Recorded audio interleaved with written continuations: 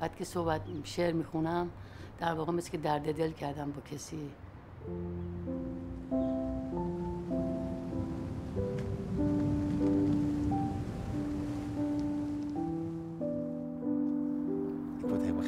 Steeds naar het liedje luisteren.